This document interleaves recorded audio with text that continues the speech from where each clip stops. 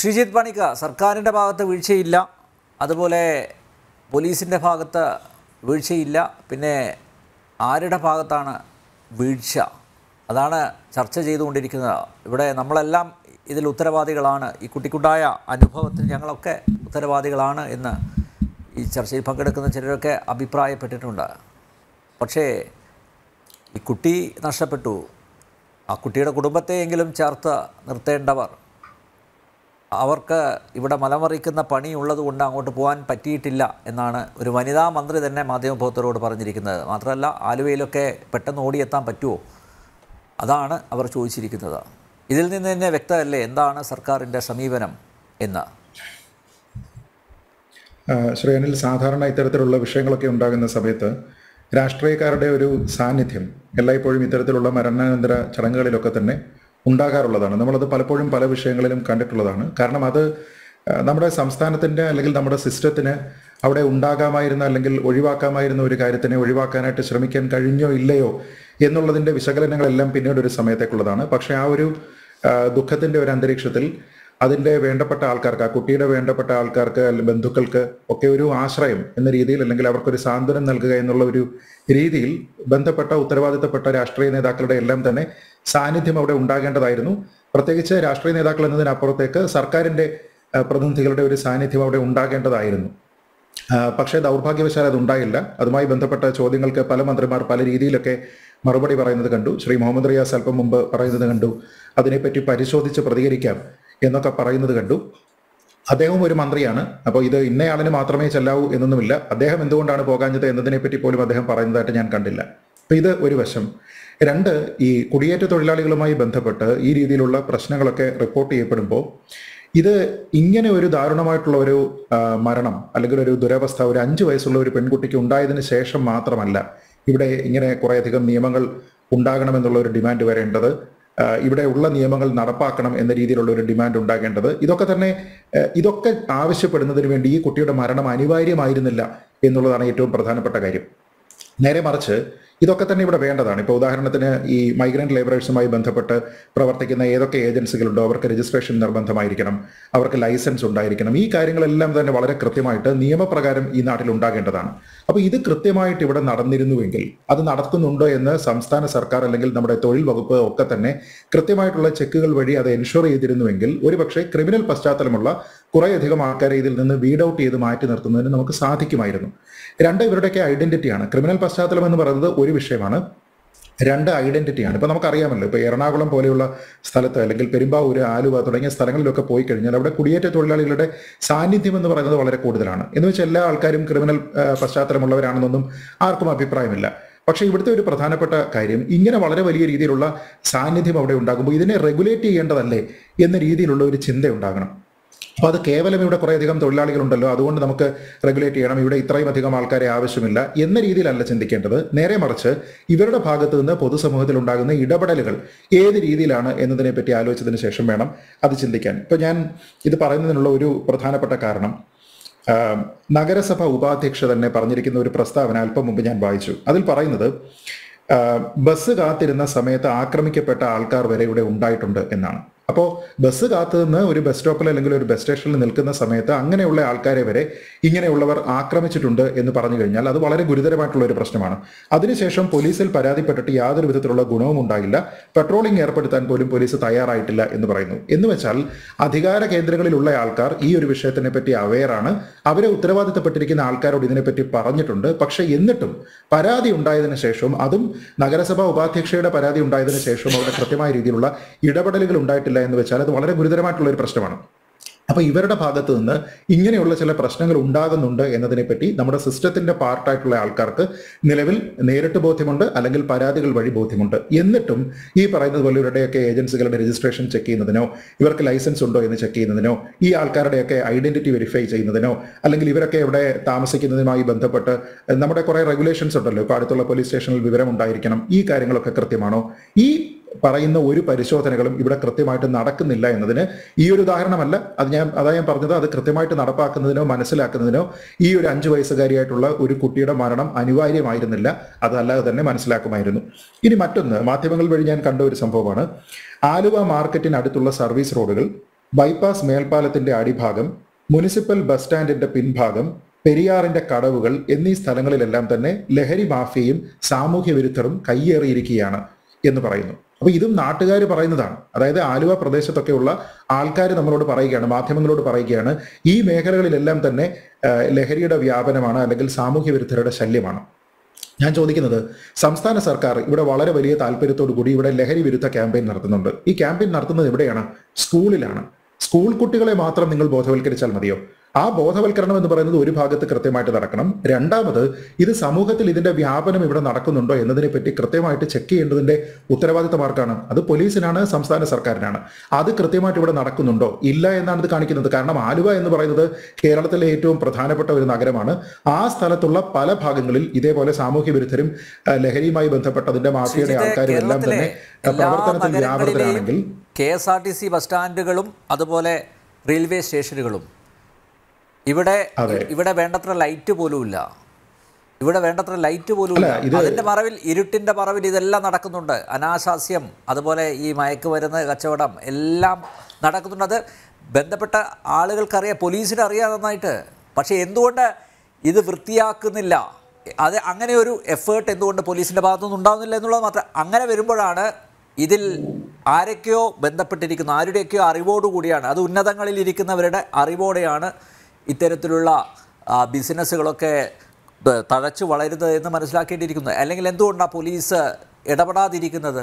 Police എന്തിനാണ് ഭയക്കുന്നത്? വലിയൊരു mafia ആയിരിക്കും ഒരുപക്ഷെ ഇതിനെയൊക്കെ നിയന്ത്രിക്കുന്നത്. അല്ല തീർച്ചയായിട്ടും. കാരണം ഇതിന്റെയൊക്കെ കമ്മീഷൻ വ്യവസ്ഥകൾ എന്താണ് എന്നും നമുക്കറിയില്ല. ഈ പണത്തിനൊക്കെ പടിപറ്റുന്ന ആൾക്കാർ ആരൊക്കെയാണ് നമുക്കറിയില്ല. കാരണം പലപ്പോഴും രാഷ്ട്രീയമായിട്ടുള്ള ചില സ്വാധീനങ്ങൾ ഉള്ളപ്പോഴാണ് പോലീസുകാർ പലപ്പോഴും അവരുടെ ജോലി ചെയ്യാത്തത്. അത് നമുക്ക് എല്ലാവർക്കും അറിയാവുന്ന ഒരു കാര്യമാണ്. ഏതെങ്കിലും രാഷ്ട്രീയ ഇടപെടലുകൾ ഉണ്ടാകുന്ന സമയത്ത് അവരെ അങ്ങ് നോക്കണ്ട ഗൗനിക്കണ്ട വിട്ടേര് എന്നൊക്കെ പറയുന്ന സമയത്താണ് പോലീസിന് രാഷ്ട്രീയമായിട്ടുള്ള സമ്മർദ്ദം ഉണ്ടാകുന്ന സമയത്താണ് പലപ്പോഴും പല കേസുകളിലും അവരൊരു വളരെ ലീനിയന്റ് ആയിട്ടുള്ള അല്ലെങ്കിൽ വളരെ അയഞ്ഞ സമീപനം കാണിക്കുന്നത്. എന്നാൽ ഈ ഇതര സംസ്ഥാന തൊഴിലാളികളുമായി ബന്ധപ്പെട്ട് ഈ രീതിയിലത്തെ ഒരു ഒരു എന്താണ് ഈ പറയുന്ന പോലെ കൈ അഴിച്ചു വിട്ടിരിക്കുന്ന ഒരു സഹായം എന്തിനാണ് അവരുടെ ഭാഗത്തു നിന്ന് ഉണ്ടാകുന്നത് ഈ പറയുന്ന ആൾക്കാരെ ഇവരെ ഇവിടെ പോലീസിന് നേരിട്ട് അറിയാവുന്നത് കൊണ്ടാണോ? അല്ല. അപ്പൊ സ്വാഭാവികമായിട്ടും ഇവരുടെ ഭാഗത്തു നിന്ന് എന്തെങ്കിലും രീതിയിലുള്ള പ്രശ്നങ്ങൾ ഉണ്ടാകുന്നുണ്ട് എങ്കിൽ അത് ഇവരെ ഇവിടെ കൊണ്ടുവരുന്ന കോൺട്രാക്ടർമാരുമായി ബന്ധപ്പെട്ടോ ഇവരുടെ ഏജന്റുമാരുമായി ബന്ധപ്പെട്ടോ ഒക്കെ തന്നെ പടി ആർക്കെങ്കിലും കിട്ടുന്നുണ്ടോ എന്ന കാര്യത്തിനെ പറ്റി അന്വേഷിക്കണം. കാരണം അല്ലാത്ത രീതിയിലുള്ള നേരിട്ടുള്ള ഒരു രാഷ്ട്രീയ സമ്മർദ്ദം ചെലുത്താനായിട്ട് കഴിവുള്ള ആൾക്കാരല്ലല്ലോ ഇതര സംസ്ഥാന തൊഴിലാളികൾ. ഇനി ശ്രീ അനിൽ പറഞ്ഞതിൽ നിന്ന് ഒരു കാര്യം കൂടി വ്യത്യസ്തമാണ്. കാരണം ഇരുട്ടിന്റെ മറവ് എന്നൊരു വാക്ക് താങ്കൾ പറഞ്ഞു. ആ ഇരുട്ടിന്റെ മറവ് പോലും ഈ ആലുവ മാർക്കറ്റുമായി ബന്ധപ്പെട്ട ആവശ്യമില്ല എന്നാണ് അവിടെയുള്ള ആൾക്കാർ പറയുന്നത്. അതായത് ഈ മാർക്കറ്റിലെ തിരക്കൊക്കെ കഴിഞ്ഞു കഴിഞ്ഞാൽ ഉച്ചയ്ക്ക് ഒരു മൂന്ന് മണി കഴിഞ്ഞു കഴിഞ്ഞാൽ അവിടെ അതെ മദ്യപിക്കുന്ന ആൾക്കാരുടെ ലഹരി ഉപയോഗിക്കുന്ന ആൾക്കാരുടെ കേന്ദ്രമാണ് എന്ന് പറയുന്നു. പല സ്ഥലങ്ങളും ഇരുട്ടിലേക്ക് എത്തുന്ന സമയത്ത് അതായത് ഒരു ഏഴ് മണി കഴിയുന്ന സമയത്തേക്ക് അത് ഓപ്പൺ ബാറുകളായി മാറുന്നു എന്ന രീതിയിലത്തേക്കുള്ള ആരോപണങ്ങൾ ഉണ്ടാകുന്നു. ഇതൊക്കെ നടക്കുന്നത് കേരളത്തിലാണ്. അപ്പൊ നമുക്ക് നമ്മുടെ നാട്ടിലുള്ള പോലീസുകാർക്ക് ഈ മൈക്കിന് ഹൗളിംഗ് ഉണ്ടാകുന്ന സമയത്തോ അല്ലെങ്കിൽ പിന്നെ സീറ്റ് ബെൽറ്റ് ഇട്ടില്ല ഹെൽമെറ്റ് ഇല്ല ഈ കാര്യങ്ങൾ മാത്രം കണ്ടുപിടിക്കാൻ മാത്രമേ കഴിയുകയുള്ളൂ. അവരുടെ മൂക്കിന് താഴെ നടക്കുന്ന ഇത്തരത്തിലുള്ള സംഭവങ്ങൾ പരാതി ഉണ്ടായതിനു ശേഷവും അത് കണ്ടുപിടിക്കാനായിട്ട് അവർക്ക് കഴിയുന്നില്ല എങ്കിൽ എന്താണ് മനസ്സിലാകുക? അതേപോലെ ഒരു വാർത്ത ഞാൻ കണ്ടതാണ്. ഹോൺ അടിച്ചാൽ റോഡിന് നടുക്കിരിക്കുന്ന ആൾക്കാരാണ്. ഹോൺ അടിച്ചാൽ എണീറ്റ് മാറാതെ റോഡിൽ തന്നെ കുത്തിയിരിക്കുന്ന രീതിയിലുള്ള ആൾക്കാരുണ്ട് അത്രേ അപ്പൊ അത് എന്ത് രീതിയിലുള്ള മെന്റാലിറ്റി ഉള്ള ആൾക്കാരായിരിക്കും അത് ചെയ്യുക? എനിക്ക് തോന്നുന്നത് തീർച്ചയായിട്ടും ലഹരിക്ക് അടിപ്പെട്ടിരിക്കുന്ന ആൾക്കാരായിരിക്കും. എണീറ്റ് അങ്ങോട്ട് മാറാൻ പോലും വയ്യാതെ അവിടെ ഇരിക്കുന്ന ആൾക്കാരായിരിക്കും. അല്ലെങ്കിൽ ആരെങ്കിലും റോഡിന്റെ നടുക്കിരുന്നാണോ വിശ്രമിക്കുക. ഈ കേസിൽ ഉൾപ്പെട്ടിരിക്കുന്ന ഈ അശ്വക്കാലം എന്ന് പറയുന്ന ആളിനെ മാത്രം വെച്ചിട്ട് അയാളുടെ പേരിൽ തന്നെ ഒന്നോ രണ്ടോ മോഷണത്തിന്റെ ചരിത്രമുണ്ട് എന്ന രീതിയിലത്തേക്കുള്ള ആരോപണങ്ങൾ വരുന്നു. അയാൾ ആരുടെ മൊബൈൽ ഫോണോ പണമോ ഒക്കെ മോഷ്ടിച്ചിരിക്കുന്ന കേസുകളുണ്ട്. പക്ഷേ പരാതിക്കാരന് ഫോർമലായിട്ട് പരാതി കൊടുക്കാൻ താല്പര്യമില്ലാതിരുന്നതുകൊണ്ട് ഈ തൊണ്ടി പിടിച്ചെടുത്തത് കൊണ്ട് ഇയാൾക്കെതിരെ പരാതി ഉണ്ടായില്ല. അതുകൊണ്ട് ഇയാൾ പോലീസിന്റെ കസ്റ്റഡിയിലായില്ല. അപ്പോൾ പൊതുസമൂഹം എന്ന രീതിയിൽ നമ്മൾ മൊത്തത്തിൽ ആൾക്കാർ ജാഗ്രതയോടുകൂടി ഇടപെടേണ്ടുന്ന ചില കാര്യങ്ങളുണ്ട്. ഒരുപക്ഷെ ഏതെങ്കിലും ഒരു കേസിൽ ഇയാൾക്ക് എതിരെ ഒരു പരാതി ഉണ്ടായിരുന്നുവെങ്കിൽ ഇയാൾ അകത്തായിരുന്നുവെങ്കിൽ ഇന്ന് ആ കുട്ടി നമ്മളോടൊപ്പം ജീവിച്ചിരിക്കുമായിരുന്നു. ഈ സമയത്ത് മറ്റൊന്ന് ഏതെങ്കിലും ഒരു വിഷയം നമ്മൾ ചർച്ച ചെയ്യുമായിരുന്നു. അപ്പൊ ഇത് പൊതുസമൂഹത്തിന്റെ വീഴ്ചയാണ്. നമ്മളിൽ ഓരോരുത്തരും നിസ്സാരമെന്ന് കരുതുന്ന നമ്മുടെ മഹാമനസ്കത കൊണ്ട് ക്ഷമിച്ചു കളയുന്ന ചില തെറ്റുകളുണ്ട്. അതൊരു ക്രിമിനൽ കുറ്റമാണെങ്കിൽ തീർച്ചയായിട്ടും അതിന് നേരെ കണ്ണടയ്ക്കാൻ പാടുള്ളതല്ല. നമ്മൾ ഒരുപക്ഷെ കാണിക്കുന്ന ആ ഒരു മഹാമനസ്കത എന്ന് പറയുന്നത് ആ ഒരു മഹാമനസ്കത എന്ന് പറയുന്നത് ഒരുപക്ഷെ മറ്റൊരാളിന്റെ ഒരു കുരുന്നിന്റെ ജീവൻ ഇല്ലാതെയാക്കുന്നതിന് കാരണമായേക്കാം. അതേപോലെ തന്നെ ഉത്തരവാദിത്തപ്പെട്ട ആൾക്കാർ നഗരസഭയുടെ ഉപാധ്യക്ഷ പറഞ്ഞിരിക്കുന്നത് എന്താണ് എന്നുള്ളത് നമ്മൾ കണ്ടു. അപ്പൊ അവർക്ക് ഇതിനെപ്പറ്റി അറിയാം. പക്ഷെ കൃത്യമായ രീതിയിലുള്ള ഇടപെടലുകൾ ഉണ്ടാകുന്നില്ല. പോലീസിന്റെ ഭാഗത്ത് നിന്ന് അത് ഉണ്ടാകുന്നില്ല. ഈ ഞാൻ ഒരൊറ്റ ചോദ്യം ചോദിക്കുന്നു. അപ്പോൾ നമ്മൾ ജനപ്രതിനിധികളെ പറ്റി പറഞ്ഞു. എന്തുകൊണ്ട് അവരവിടെ ഉണ്ടായില്ല എന്ന്. ഞാൻ ചോദിക്കുന്ന വേറൊരു ചോദ്യം. ജനപ്രതിനിധികളെ തൽക്കാലത്തേക്ക് മാറ്റി നിർത്തൂ. പോലീസ് ഉണ്ടല്ലോ. ഈ പോലീസിന് ഇത്രയും പ്രശ്നങ്ങളുണ്ട് എന്നുള്ള പരാതി കിട്ടിയതിന് ശേഷം പട്രോളിംഗ് പോലും കൃത്യമായിട്ട് നടത്താൻ സാധിക്കാതിരിക്കുന്ന ഒരു പോലീസ് സംവിധാനം ഇതെല്ലാം കഴിഞ്ഞതിന് ശേഷം ആ പൊൺ- പെൺകുട്ടിയുടെ പേരടക്കം എഴുതി മോളെ മാപ്പ് എന്ന് സോഷ്യൽ മീഡിയയിൽ പറഞ്ഞാൽ ആ മാപ്പിൽ എന്ത് അർത്ഥമാണുള്ളത് അപ്പൊ അതുകൊണ്ട് ഈ അനാവശ്യമായിട്ടുള്ള കാര്യങ്ങളിൽ കേസെടുക്കാനായിട്ട് ധൃതി കാണിക്കുന്ന പോലീസിനെ ഇനിയെങ്കിലും അതിൽ നിന്ന് സ്വതന്ത്രരാക്കി ഈ നാട്ടിൽ ഏറ്റവും ചുരുങ്ങിയത് കുട്ടികൾക്കും സ്ത്രീകൾക്കും എതിരായിട്ടുള്ള അതിക്രമം തടയുന്നതിന് വേണ്ടിയിട്ടോ അല്ലെങ്കിൽ ആ കാര്യത്തിൽ പെട്ടെന്ന് ത്വരിതഗതിയിൽ അന്വേഷണം നടത്തുന്നതിന് വേണ്ടിയിട്ടോ ഉള്ള രീതിയിലത്തേക്ക് അവരെ പരുവപ്പെടുത്താനെങ്കിലും വേണ്ടിയിട്ട് സംസ്ഥാന സർക്കാർ സർക്കാർ സംവിധാനം ശ്രമിക്കണം എന്നുള്ളതാണ് എന്റെ ഒരു അഭ്യർത്ഥന. ശ്രീ എം ജയചന്ദ്രൻ മോളെ മാപ്പ് എന്ന് പറഞ്ഞ് പോലീസിന് രക്ഷപ്പെടാൻ പറ്റുമോ മാത്രമല്ല ഈ കുടുംബത്തിന്റെ സംരക്ഷണം സർക്കാർ ഏറ്റെടുക്കേണ്ടതല്ലേ? ഇപ്പോൾ അന്തിമോപചാരം അർപ്പിക്കാൻ പോയില്ല. ഓക്കെ അതങ്ങ് വിട്ടേക്കാം. പക്ഷേ ഇനി ഈ കുടുംബത്തെ ഏറ്റെടുക്കണ്ടേ സർക്കാർ? അതെങ്കിലും ചെയ്യുമോ? അങ്ങനെ ഒരു ഒരു മനസ്സ് കാണിക്കുമോ? തീർച്ചയായിട്ടും അത്തരത്തിലുള്ള കാര്യങ്ങൾ മാനുഷികമായ പരിഗണനകളുടെ പരിധിക്കകത്ത് മാത്രമല്ല അതിനപ്പുറത്തുള്ള പരിധിക്കകത്ത് നിന്ന് ഈ കാര്യത്തിനെ സമീപിക്കാൻ ഗവൺമെന്റിന് ബാധ്യത ഉണ്ടല്ലോ. അക്കാര്യത്തിൽ ഒരു തർക്കവുമില്ലാത്ത സംഗതിയാണ് താങ്കൾ ചോദിച്ചത്. ആ ആ കുടുംബത്തിനെ പിന്നെ ചേർത്ത് പിടിക്കാനുള്ള ബാധ്യത കേരളത്തിനുണ്ട്.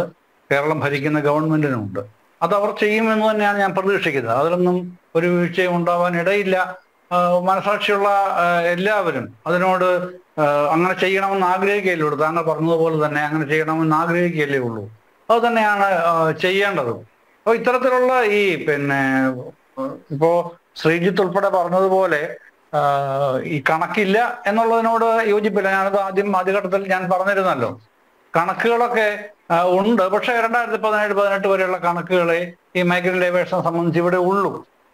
പിന്നെ അതുപോലെ തന്നെ ഈ നമ്മുടെ നാഷണൽ ക്രൈം റെക്കോർഡ്സ് ബ്യൂറോയുടെ തന്നെ കണക്കുകൾ ഏറ്റവും ഒടുവിൽ വരുന്നത് രണ്ടായിരത്തി ഇരുപത്തി ഒന്നിലാണല്ലോ അത് ഈ ഈ ശ്രീ രാജ്മോഹൻ ഉൾപ്പെടെയുള്ളവർ പറഞ്ഞ ഇവരുടെ പരസ്പരമുള്ള വഴക്കുകൾ കലഹങ്ങൾ ഒക്കെയുണ്ട്. പിന്നെ കൊലപാതക ശ്രമങ്ങളിലടക്കം പങ്കാളികളായിട്ടുള്ളതൊക്കെ ഉണ്ട് അപ്പൊ അത്തരത്തിലുള്ള കണക്കല്ല പ്രശ്നം. എന്ത് നടപടി എടുക്കുന്നു എന്നുള്ളതാണ് പ്രശ്നം. അല്ല നടപടി എന്ന് പറഞ്ഞാൽ ഇപ്പോ ഇതിന്റെ അകത്ത് ശ്രീ അനിൽ നമ്മളിത് ഈ ഏതെങ്കിലും തരത്തിൽ ഇങ്ങനെ ഒരു അന്യ സംസ്ഥാന തൊഴിലാളി ഇതര സംസ്ഥാന തൊഴിലാളി അവിടെ ഇത്തരത്തിലുള്ള ഒരു ടെൻഡൻസി ഉള്ള ഒരാൾ എന്ന് ആർക്കെങ്കിലും അറിയുന്നുണ്ടോ? ആരുമില്ല അറിയുന്നില്ലല്ലോ. അറിയുമെങ്കിൽ ആ വഴിക്ക് പോലും അവർ അടുപ്പിക്കില്ല. അല്ല, പോലീസിന്റെ ജനങ്ങളുടെ കാര്യം ജനങ്ങളുടെ കാര്യം. അല്ല ജയേന്ദ്രൻ അറിയാം കോവിഡ് കാലത്തല്ലേ അവർ അവർ തെരുവിലിറങ്ങിയില്ലേ? എന്തായിരുന്നു? പോലീസ് നേരെ തിരിഞ്ഞില്ലേ? അതെ അത് ചങ്ങനാശ്ശേരി പായിപ്പാട്ടാണ് ആ സംഭവം ഉണ്ടോ കോവിഡ് കാലത്ത്? അത്? വേറെ കാര്യം. അല്ല അത് എന്റെ എന്റെ എനിക്ക് എന്റെ അടുത്ത പ്രദേശമാണല്ലോ കോട്ടയം ജില്ലയല്ലേ അത്? പിന്നെ അറിയാം. അറിയാവുന്നതാണ്. ഞാൻ പറഞ്ഞത് ഈ കേസിൽ ഇയാൾ ബിഹാറിയായ ആ, ആണിക്കക്ഷി എന്ന് പറയുന്നുണ്ടല്ലോ. അവരും രണ്ടു കൂട്ടരും ഈ മലയാളികളല്ല മലയാളത്തിൽ വന്ന് താമസിക്കുന്നുണ്ട്. പക്ഷെ കുട്ടി നന്നായിട്ട് മലയാളം സംസാരിക്കുന്നുണ്ട്. അത് അത്തരത്തിൽ വളരെ വേണ്ടപ്പെട്ട കുട്ടിയാണ്. അതൊക്കെ അത് ഞാൻ പറയുന്നതല്ല ഇപ്പൊ ഈ പറഞ്ഞ ചില കാര്യങ്ങൾ ആ ഈ പിന്നെ ആലുവ മാർക്കറ്റ് എന്ന് പറയുന്ന സംഗതിയിൽ അവിടെ നടക്കുന്ന ഓപ്പൺ ബാർ എന്ന് നമ്മൾ ഒരു സിവിലൈസ്ഡ് ആയിട്ട് പറയുന്നു. ആ കുറച്ചുകൂടെ അല്ലാത്ത വേറെ നിലയിൽ നാട്ടുകാർ പറയുന്നു. അത് തന്നെയാണ് അപ്പുറത്ത് സൗത്ത് റെയിൽവേ സ്റ്റേഷനിൽ സദ്യ കഴിഞ്ഞാൽ നടക്കുന്നത്. നോർത്തിൽ അതെ ആ, നമ്മുടെ ഇങ്ങോട്ട് മാറിയാൽ തോപ്പുംപടിയിൽ നിന്ന് കുറച്ച് അങ്ങോട്ട് മാറിയ ഫോട്ടോജിക്ക് പോകുന്ന വഴിയിലതെ പള്ളുരുത്തിയുടെ മറ്റൊരു ഭാഗത്തതെ അങ്ങനെ പല സ്ഥലങ്ങളും ഉണ്ട്. ഞാൻ പറഞ്ഞ എറണാകുളം മാത്രമല്ല പിന്നെ തിരുവനന്തപുരത്തുള്ള തമ്പാനൂർ അടക്കം അത് നടക്കുന്നുള്ളത് അറിയാമല്ലോ. അത് അതുണ്ട് അത്തരത്തിലുള്ള കാര്യങ്ങളുണ്ട്. അത് പിന്നെ ഇവിടെ നമ്മൾ ശരിയായി തിരുവനന്തപുരത്ത് തമ്പാനൂരിലെ K S R T C bus സ്റ്റാൻഡിൽ പോയി കഴിഞ്ഞാൽ ഇപ്പം അവിടെ കള്ളു കുടിക്കുന്ന അല്ലെങ്കിൽ കഞ്ചാവ് അടിക്കുന്ന ഒരു പത്ത് പേരെങ്കിലും പൊക്കാം. പക്ഷെ പതിനഞ്ച് കൊല്ലം മുമ്പുള്ള ചങ്കൽച്ചൂടല്ല ഇപ്പോഴത്തെ ചങ്ങൽച്ചൂട് അതും സമ്മതിക്കുമല്ലോ താങ്കൾ. ഇല്ലേ. മാറ്റങ്ങളുണ്ട് ഉണ്ട് മാറ്റങ്ങളുണ്ട്. ഇല്ലെന്നല്ല അത് മാറ്റം മാറ്റം കൊണ്ടുവരികയും വേണം. അത് നമ്മുടെ സിവിൽ സൊസൈറ്റിക്ക് പൗരസമൂഹത്തിന് വലിയ ഉത്തരവാദിത്വവും ബാധ്യത പോലും ഉണ്ട് എന്നുള്ളത് തിരിച്ചറിയണം. ഇത്തരത്തിലുള്ള ഈ ഏറ്റവും കേരളത്തിന് തന്നെ കേരളത്തിനെന്നല്ല വ്യക്തിപരമായി ഞാൻ തന്നെ ഞാൻ ആദ്യമേ അത് പറഞ്ഞല്ലോ. പിന്നെ നമ്മളൊക്കെ സ്വയം ലജ്ജിച്ച് തലകുനിച്ച് പോകുന്ന ഇത്തരം സംഭവവികാസങ്ങൾ നമുക്കൊരിക്കലും പിന്നെ വെച്ച് പൊറപ്പിക്കാൻ വയ്യാത്ത വിധം പ്രശ്നങ്ങളാണ്. പക്ഷേ ഇതുകൊണ്ട് പെട്ടെന്ന് വേഗത്തിലാക്കണം. ഏതാ? കുറ്റവാളികളുടെ ശിക്ഷ എന്ന് പറയുന്നത് നടക്കുമോ? അജ്മൽ കസബിന് നീതിന്യായ വ്യവസ്ഥ ഏർപ്പെടുത്തി കൊടുത്ത നാട് ആണല്ലോ നമ്മുടെ നാട്. സുപ്രീം കോടതി അങ്ങനെയാണല്ലോ ചെയ്യുന്നത്. അതല്ലാതെ വേറെ വഴിയില്ല. നീതിന്യായ വ്യവസ്ഥ എങ്ങനെയാണ്? അതുപോലെ ഇന്ത്യൻ പോലീസ് ആക്ട്. ഓ അത് ഉണ്ടാകുന്ന പത്തൊമ്പതാം നൂറ്റാണ്ട് ഉണ്ടാകുന്നല്ലേ ഇന്ത്യൻ പോലീസ് ആക്ട്? അതിനുശേഷം നമ്മൾ തന്നെ അല്ല ഇങ്ങനെയുള്ളവരെയൊക്കെ ഒരു എൻകൗണ്ടറിലൂടെ അങ്ങ് തട്ടണം ജയചന്ദ്രൻ. അത് അതാണ് വേണ്ടത്. അല്ല അതാണ് വേണ്ടത്. അങ്ങനെ പോലീസുകാർക്ക് അങ്ങനെ പോലീസുകാർക്ക് ഡയറക്ഷൻ കൊടുക്കുന്ന ഒരു മുഖ്യമന്ത്രി വേണം. നിർഭാഗ്യവശാൽ യോഗിയല്ല പിണറായി. നമ്മുടെ നമ്മുടെ തന്നെ പ്രമുഖ ക്രിമിനോളജിസ്റ്റ് ആയിട്ടുള്ള ഡോക്ടർ ജെയിംസ് വടക്കഞ്ചേരിയെ സംബന്ധിച്ച് രണ്ട് പുസ്തകങ്ങൾ ഇംഗ്ലീഷിലാണ്. പോലീസ് ട്രെയിനിങ് കോളേജിൽ അത് പഠിപ്പിക്കുന്ന പുസ്തകങ്ങളും കൂടെയാണ്. ഈ എന്താണ് പോലീസ് ആക്ടിൽ ഉണ്ടാവേണ്ട ഭേദഗതികൾ ചട്ടങ്ങൾ എന്നൊക്കെ അദ്ദേഹം സ- വളരെ സമഗ്രമായി അതിനകത്ത് പറയുന്നുണ്ട്. അതിപ്പോ ചർച്ച ചെയ്യാൻ സമയമല്ലല്ലോ ഇത്. അപ്പൊ അത്തരത്തിലുള്ള മാറ്റങ്ങൾ ഉണ്ടാകണമെങ്കിൽ ദേശീയ തലത്തിലാണ് ആ മാറ്റങ്ങൾ വരേണ്ടതും ഉണ്ടാകേണ്ടതും ഒക്കെ. ഏതായാലും ഇത്തരത്തിലുള്ള ഒരുപാട് മാറ്റങ്ങൾ വരിക എന്നുള്ളതല്ല. പിന്നെ താങ്കളുടെ ചോദ്യത്തിന്റെ ഫോക്കസ് അതായിരുന്നല്ലോ. ഈ കുടുംബത്തെ ചേർത്ത് നിർത്താൻ സർക്കാരിന് ബാധ്യതയില്ല? തീർച്ചയായിട്ടും ഉണ്ട്. കേരളത്തിന് ഒന്നാകെ ആ ബാധ്യതയുണ്ട്. സർക്കാർ ആ ആ ഉത്തരവാദിത്വം നിർവഹിക്കും എന്ന് തന്നെയാണ് ഞാൻ വിചാരിക്കുന്നത്. യെസ് എങ്കിൽ മാത്രമേ ആ അതിഥി തൊഴിലാളികളോട് കാണിക്കുന്ന ആ സ്നേഹം അത് കപടമല്ല എന്ന് പൊതുസമൂഹം തിരിച്ചറിയുകയുള്ളൂ. യെസ് തിരിച്ച്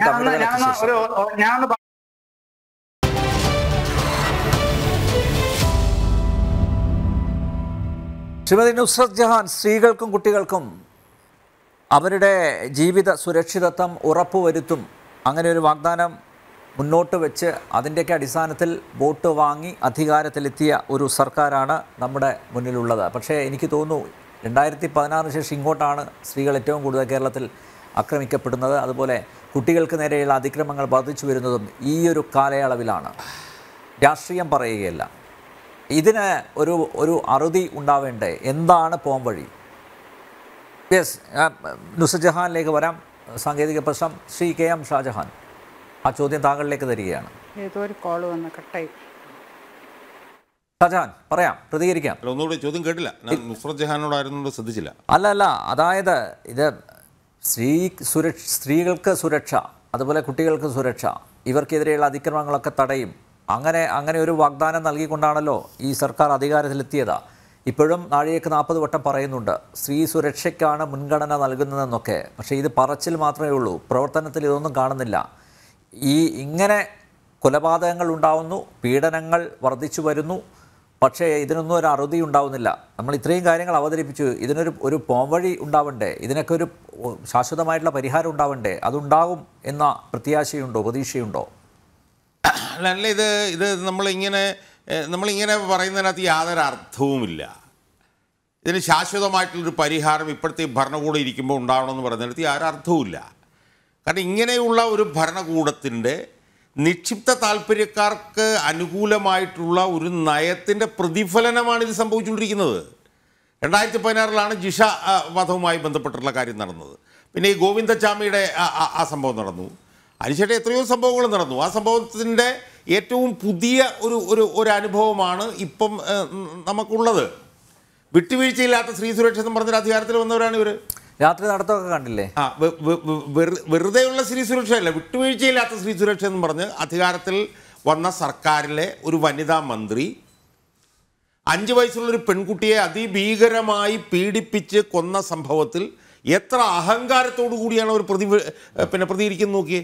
ഞാനൊരു വനിതാ മന്ത്രി ആയതുകൊണ്ട് ഞാനവിടെ അവിടെ പോകണോ എന്ന് ചോദിക്കുന്ന അഹങ്കാരത്തിന്റെയും താൻ പ്രമാണിത്വത്തിന്റെയും ആൾരൂപമാണ് അവർ വനിത. അവർ അവർ യഥാർത്ഥത്തിൽ ഒരു വനിതയാണ് എന്ന് പറയുന്നതിന് തന്നെ എനിക്ക് ഞാൻ ലജ്ജിക്കുകയാണ് സത്യത്തിൽ. ഈ പെൺകുട്ടിയുടെ മരണവുമായി ബന്ധപ്പെട്ടുകൊണ്ട് ലജ്ജിച്ച് തലകുനിക്കണമെന്ന് പറയുന്നതിനേക്കാൾ ചിരിച്ചുകൊണ്ട് പറയുക. ആ അതിനേക്കാൾ ഉന്നത വിദ്യാഭ്യാസ മന്ത്രിയായിരിക്കുന്ന ഈ സ്ത്രീ ഈ വനിത ഇങ്ങനെ പറയുന്നതിലാണ് നമ്മൾ ഇതിനേക്കാൾ കൂടുതൽ ലജ്ജിക്കേണ്ടതെന്നാണ് എനിക്ക് തോന്നുന്നത്. ഇതുപോലുള്ളവരെ വിളിച്ച് മന്ത്രിമാരാക്കുന്ന ഒരു സാഹചര്യമാണ് ഇവിടെ ഉള്ളത് അപ്പോൾ അതുകൊണ്ട് ഇതിങ്ങനെ തുറന്നുകൊണ്ടേയിരിക്കും. ഞാൻ ഒന്ന് രണ്ട് കാര്യങ്ങളൊന്നും ഞാനൊന്ന് സൂചിപ്പിച്ചത് ശ്രീമാൻ ടി കെ രാജ്മോഹൻ. എനിക്ക് അദ്ദേഹത്തോട് ബഹുമാനം മാത്രമേ ഉള്ളൂ. അതുകൊണ്ടാണ് അദ്ദേഹം സംസാരിച്ച സമയത്തൊന്നും ഞാൻ വളരെ നിശബ്ദനായിട്ട് ഞാൻ ഇരുന്നത്. അദ്ദേഹം ചില സൂചനകൾ നമുക്ക് തന്നു. ടി പി ചന്ദ്രശേഖരനുമായി ബന്ധപ്പെട്ടുകൊണ്ടുള്ള ചില സൂചനകൾ തന്നു. പി ശശിയെക്കുറിച്ചിട്ടുള്ള ചില സൂചനകൾ തന്നു. അതൊക്കെ തന്നെ അതിനകത്തൊക്കെ അതൊക്കെ സൂചനകളാൽ അർത്ഥഗർഭമാണ്. ടി കെ രാജ്മോഹൻ പറഞ്ഞ കാര്യങ്ങൾ. അതുകൊണ്ട് ഞാൻ അതിനകത്തേക്ക് പോകുന്നില്ല. പക്ഷേ എനിക്ക് വളരെ സ്നേഹത്തോടു കൂടിയുള്ള രാജ്മോഹനോടൊരു വിയോജിപ്പ് എന്ന് പറയുന്നത് ശ്രീമൻ രാജ്മോഹൻ പോലീസിനെ സംബന്ധിച്ചിടത്തോളം പോലീസ് ആംഗിൾ എന്ന് പറഞ്ഞൊരു സാധനം ഇല്ല എന്നാണ് ഞാൻ എന്റെ വാദം. പോലീസ് നല്ല രീതിയിൽ പ്രവർത്തിക്കണോ ചീത്ത രീതിയിൽ പ്രവർത്തിക്കണോ എന്ന് തീരുമാനിക്കുന്നത് സ്റ്റേറ്റാണ്.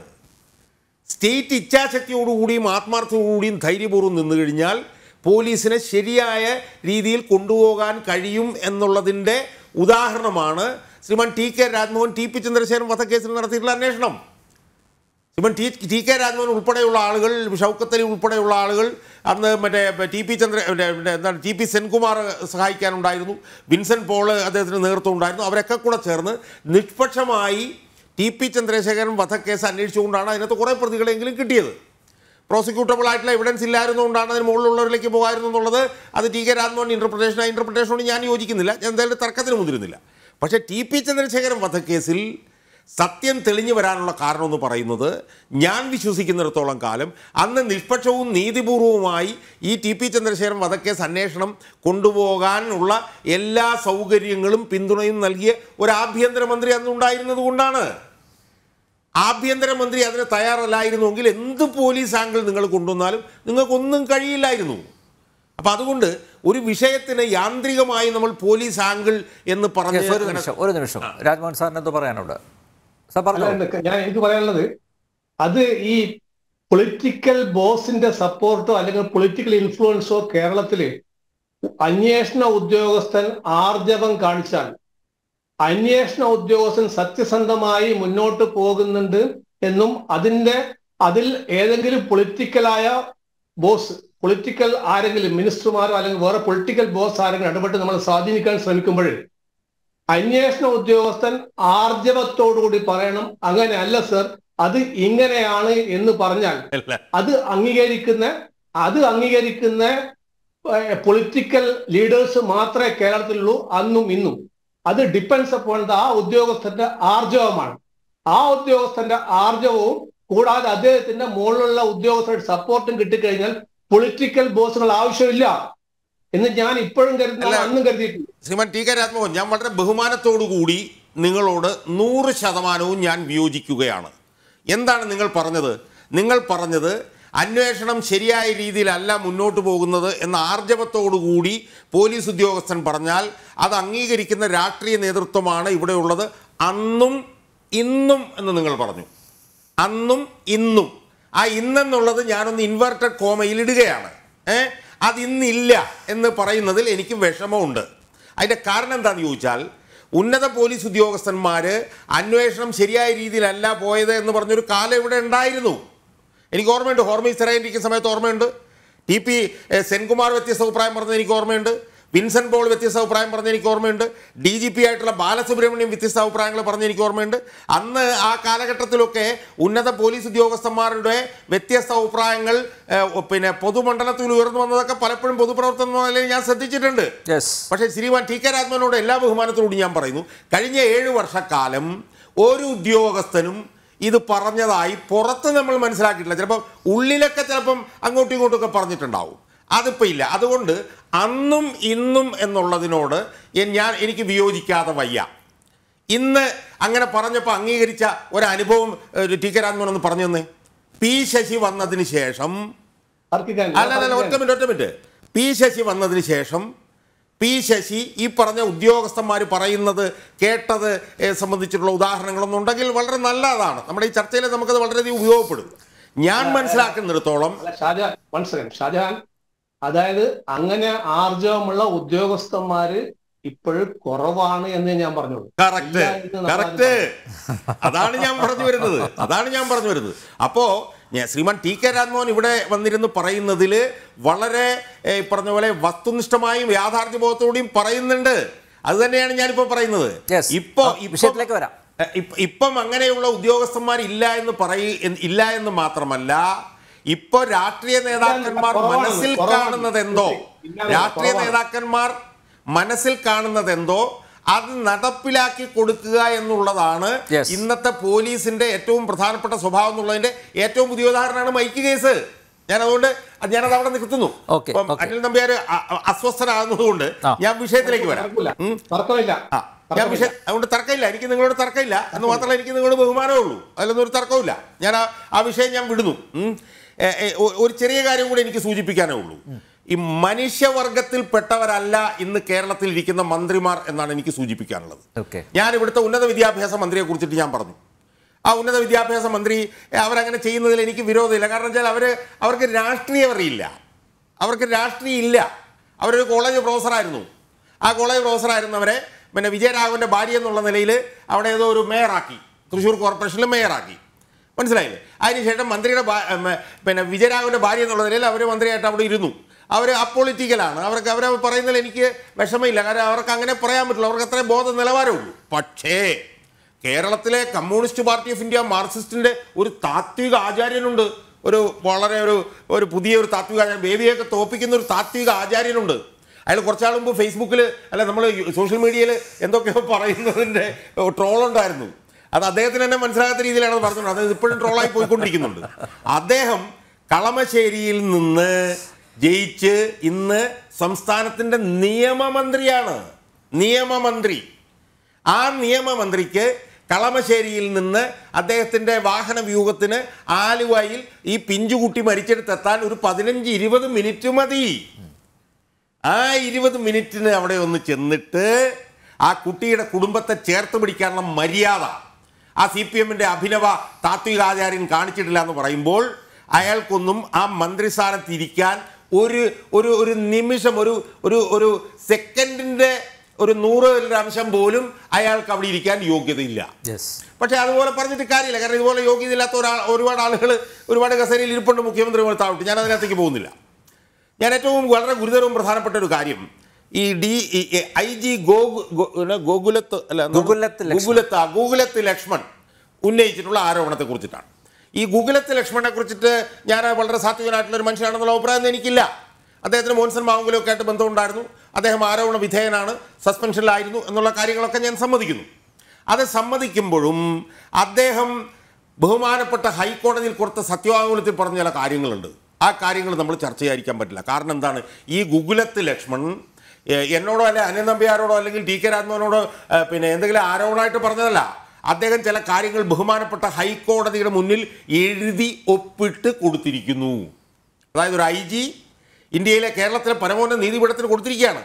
കൊടുത്തു എന്ന് പറയുമ്പോൾ ആ പറഞ്ഞ കാര്യത്തിൽ വൗച്ച് ചെയ്ത് അതിൽ പിന്നിൽ ഉറച്ചു നിൽക്കാനുള്ള ബാധ്യത ഐ ജിക്കുണ്ട് അല്ലെങ്കിൽ ഐ ജിക്കെതിരെ കേസ് വരും. അത് ഞാൻ വളരെ ചുരുക്കിയ സമയം കൊണ്ട് ഞാനൊന്ന് പിന്നെ ഒന്ന് ഒന്ന് ഒന്ന് ഒന്ന് വായിക്കുകയാണ്. സമയമില്ല പെട്ടെന്ന്. അതെ. സമയമില്ല. അദ്ദേഹം പറഞ്ഞിരിക്കുന്നത് എന്താണെന്നറിയോ? അദ്ദേഹം പറഞ്ഞിരിക്കുന്നത് it appears that in the honourable chief minister's office and extra constitutional authority is functioning അതായത് ഒരു ഭരണഘടനാതീത അധികാര കേന്ദ്രം മുഖ്യമന്ത്രിയുടെ ഓഫീസിൽ പ്രവർത്തിക്കുന്നു. And he's dealing with compromising mediating and arbitrating some of the financial dealings in the state of Kerala കേരളത്തിലെ ചില സാമ്പത്തിക ഇടപാടുകൾ കോംപ്രമൈസ് ചെയ്യുകയും മീഡിയേറ്റ് ചെയ്യുകയും ആർബിട്രേറ്റ് ചെയ്യുകയും ചെയ്യുന്ന ഒരു ഭരണഘടനാതീത അധികാര കേന്ദ്രം പിന്നെ കേരളത്തിലെ മുഖ്യമന്ത്രിയുടെ ഓഫീസിൽ പ്രവർത്തിക്കുന്നു എന്ന് പറഞ്ഞ് ഒരു ഐ ജി പിന്നെ ആർക്ക് എഴുതി കൊടുത്തിരിക്കുന്നു? ഹൈക്കോടതിക്ക് എഴുതി കൊടുത്തിരിക്കുന്നു. Even the dispute send by this honourable court to various arbitrators were resolve by that authority എന്ന് പറഞ്ഞാൽ ബഹുമാനപ്പെട്ട ഹൈക്കോടതി ആർബിട്രേഷനുമായി ബന്ധപ്പെട്ട് തീർക്കാനായി കൊടുത്തിരിക്കുന്ന പല തർക്കങ്ങൾ പോലും മുഖ്യമന്ത്രിയുടെ ഓഫീസിലിരിക്കുന്ന ഈ ഭരണഘടനാതീത അധികാര കേന്ദ്രം തീരുമാനിക്കുന്നു എന്ന് കാശ് വാങ്ങി ഇടപാട് നടത്തിയിട്ടുണ്ട്. കേരളത്തിലെ ഒരു ഐ ജി ബഹുമാനപ്പെട്ട ഹൈക്കോടതിക്ക് എഴുതി ഒപ്പിട്ട് കൊടുത്തിരിക്കുന്നു എന്ന് പറയുമ്പോൾ കാര്യങ്ങൾ എവിടെ എത്തി നിൽക്കുന്നു എന്നുള്ളത് സെൽഫ് സ്പീക്കിംഗ് ആണ്. വളരെ ഗുരുതരമാണ്. എന്നാണ് ഞാൻ മനസ്സിലാക്കുന്നത്. അതുകൊണ്ട് അതുകൊണ്ട് അതുകൊണ്ട് അയാൾ അയാൾ ഇതൊക്കെ കൊടുത്തിരിക്കുന്നു എന്നുള്ളതുകൊണ്ടാണെന്ന് തോന്നുന്നു അയാളെ അറസ്റ്റ് ചെയ്യാനുള്ള നീക്കങ്ങൾ സജീവമായിട്ട് നടക്കുന്നുണ്ട്. കാരണം അയാളുടെ നാവിൽ നാളെ എന്ത് വരാ വരുമെന്ന് അറിയാത്തത് കൊണ്ട് അതിന് മുമ്പ് മിക്കവാറും അയാൾ അറസ്റ്റ് ചെയ്ത് അകത്ത് പോകാനുള്ള സാധ്യതയാണ് ഞാൻ ഇല്ല, അദ്ദേഹത്തെ അകത്ത് പോകാൻ പറ്റില്ല. അദ്ദേഹം മുൻകൂർ ജാമ്യം നേടിയിട്ടുണ്ട്. യെസ് യെസ് മുൻകൂർ ജാമ്യം കിട്ടിയിട്ടുണ്ട്. അതുകൊണ്ട് അറസ്റ്റ് ചെയ്യാൻ പറ്റില്ല. പക്ഷേ അദ്ദേഹത്തെ പരമാവധി ദ്രോഹിക്കാം? ഇത്രയും പറഞ്ഞ സ്ഥിതിക്ക്. യെസ് കിട്ടിയോ? യെസ് തിരിച്ചെത്താം ഇടവേളയ്ക്ക് ശേഷം.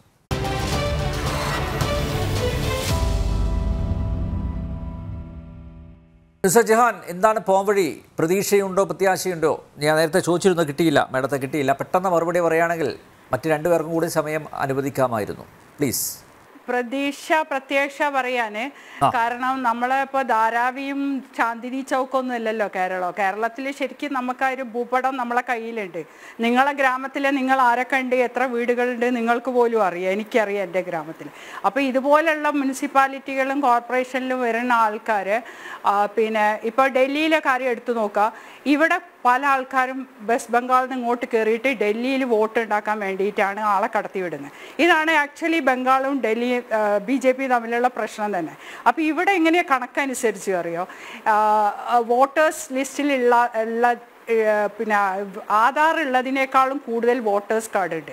അപ്പോൾ ഇവിടെ ആ വോട്ടേഴ്സ് കാർഡിൽ വരുന്നവരെ ഇപ്പോൾ ഒരു റൂം കൊടുക്കാനോ ഹോട്ടലിലോ ഇവിടെ കൊടുക്കൂല. കാരണം ദേ വോണ്ട് ദെയർ അവരെ ഐഡന്റിറ്റി അവർ എവിടുന്ന് വന്നു എന്നുള്ള ആധാർ ഉള്ളവർക്ക് മാത്രമേ ഇവിടെ വീടുകൾ കൊടുക്കുള്ളൂ.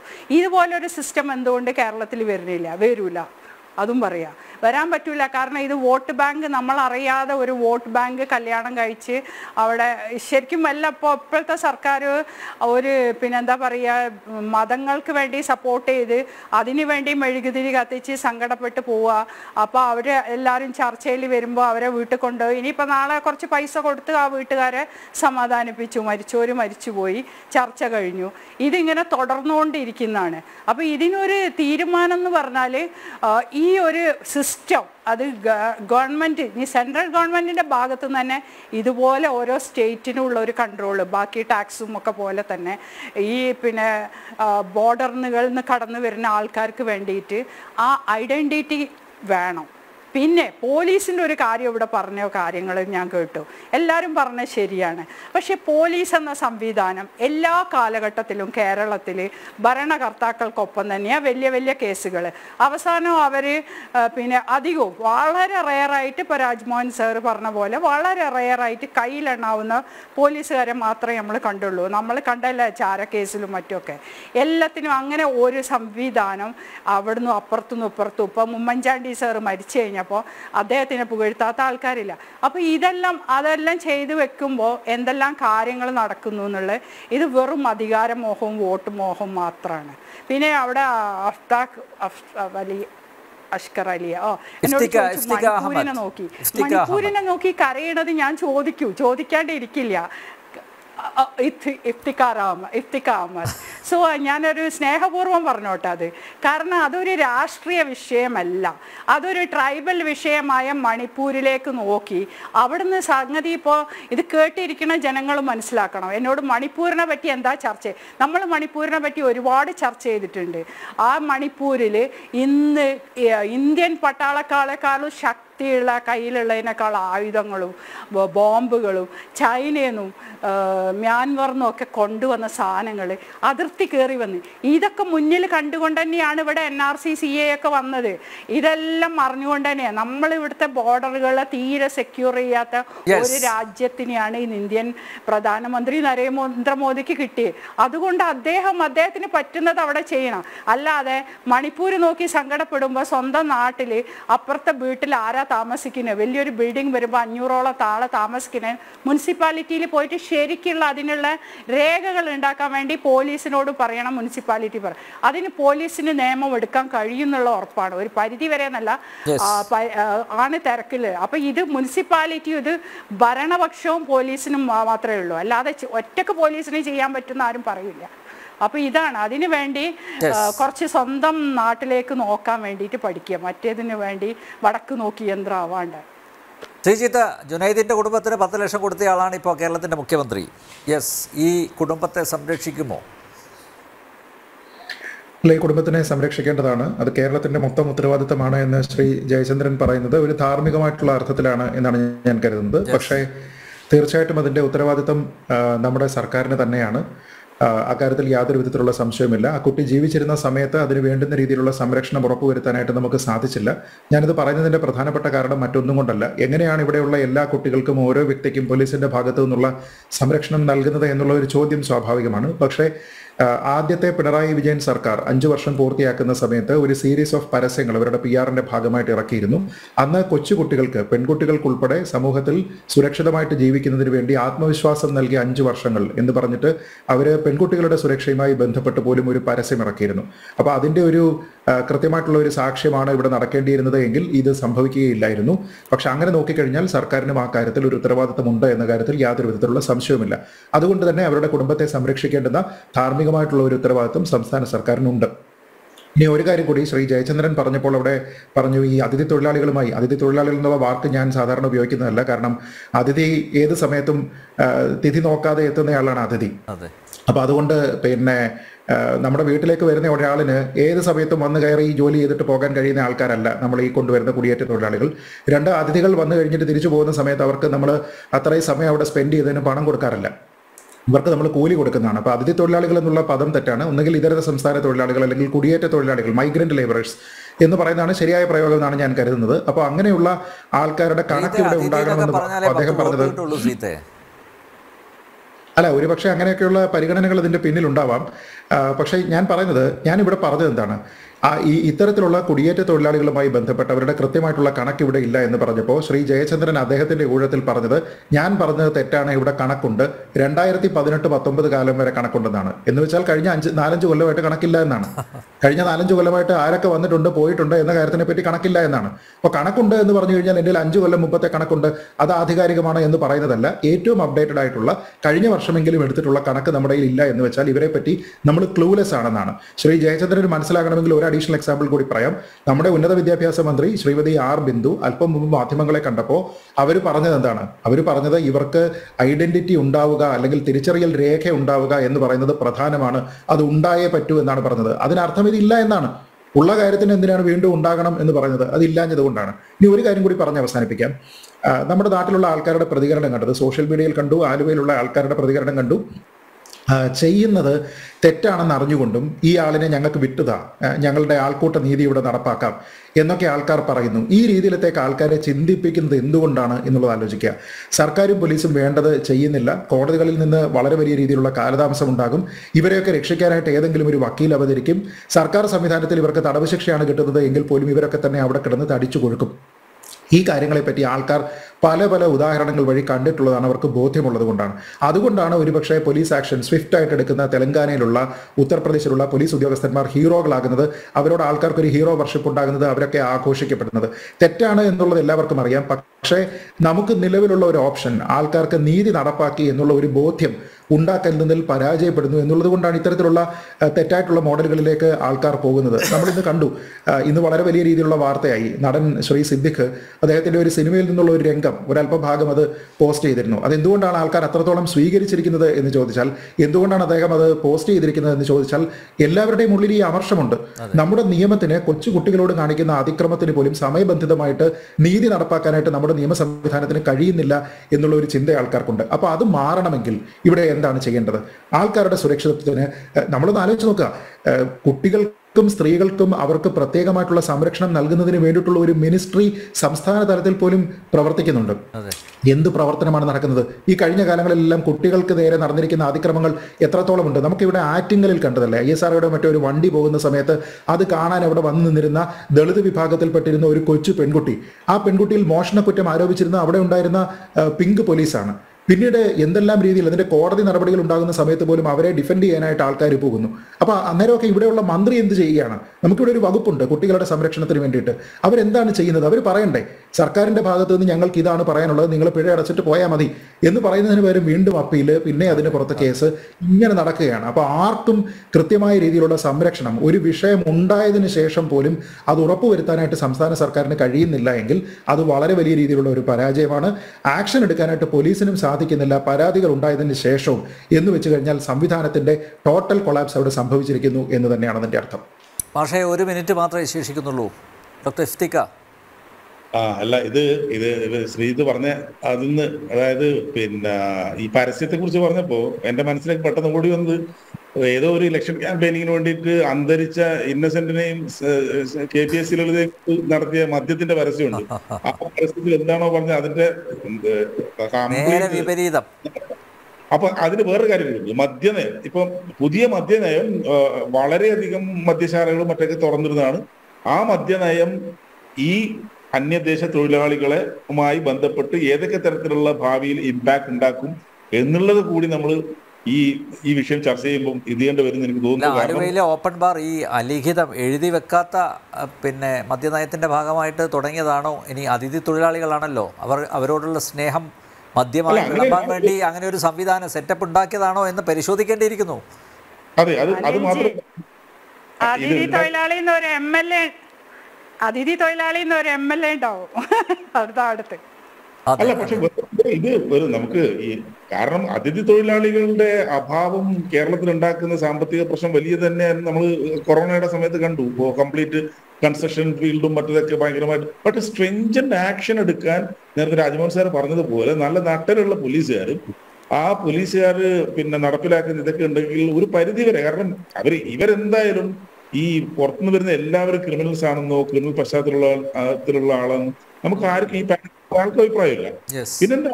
ഇവിടെ വന്ന് പിന്നെ ഈ ജീവിത സാഹചര്യം വലിയ കാര്യം തന്നെയാണ്. കാരണം ഞാൻ പലപ്പോഴും മുമ്പ് പറയാറുണ്ട് കേരളത്തിൽ ഇല്ലാത്തൊരു സംഭവമാണ് ഒരു പിന്നെ ഈ ഓപ്പൺ ബ്രോത്ത് അത് പറയുമ്പോൾ നമ്മൾ സദാചാരത്തിനെതിരെ ആൾക്കാർ ഇത് പറയും.